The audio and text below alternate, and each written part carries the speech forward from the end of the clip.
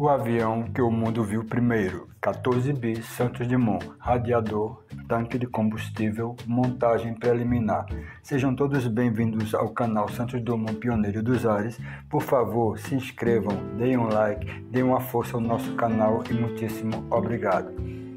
Estamos apresentando neste vídeo a confecção, a, manufatura do, do radiador que que era localizado, que eram duas partes na verdade, localizado, localizados um de cada lado do, da parte em que o motor e as demais partes como a fuselagem e as asas se acoplavam.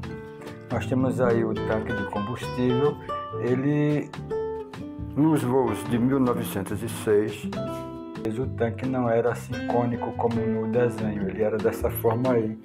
Então podemos ver ali a entrada do combustível e a saída também, os dois orifícios para o encaixe nessa, nessas duas hastes que ficavam acima e no meio das asas.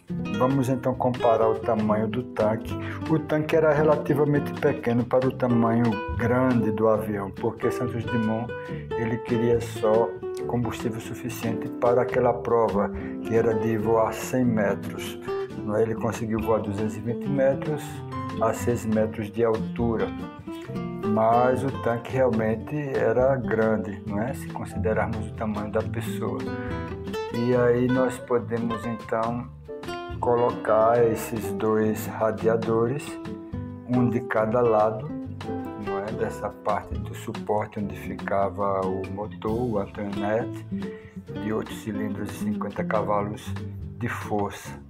Então nós vamos colocar esses dois radiadores que nós confeccionamos, eram radiadores a água Aí nós temos o espaço vazio do sexto, né?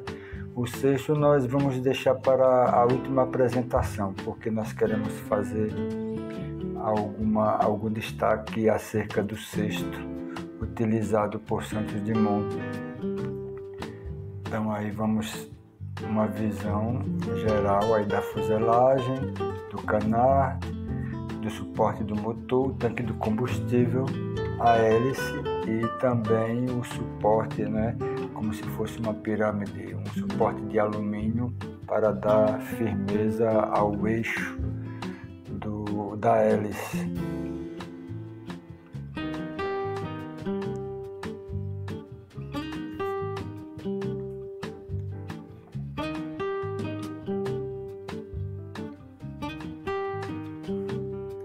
Nós depois vamos trocar esses cabos, como já falamos em vídeo anterior, uma visão posterior da estrutura ainda sem as asas.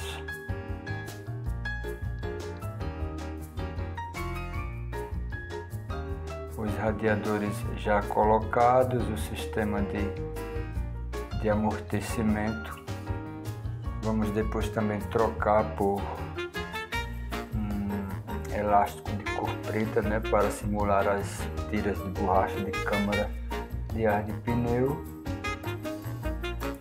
que ele utilizou para amortecimento no, no seu trem de pouso. Aí o canar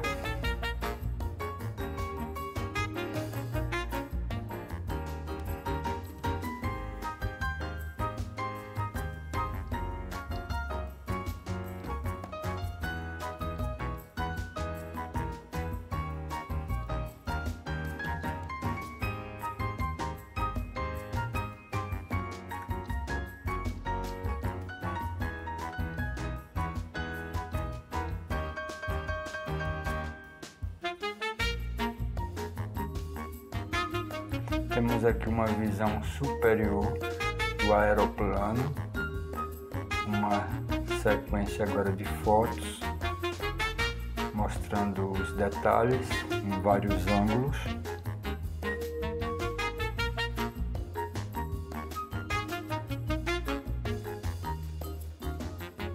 Aí podemos ver os controles.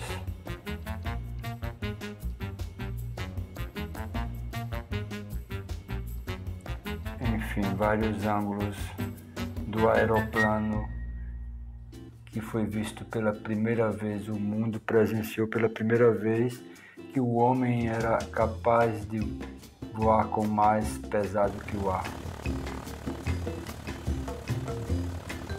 Isso ocorreu em 1906 em Paris.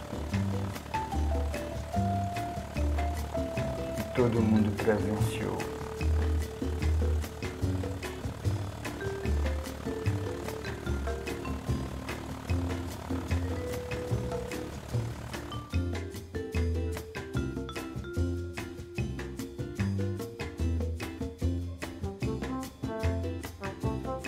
Muitíssimo obrigado e até o próximo vídeo.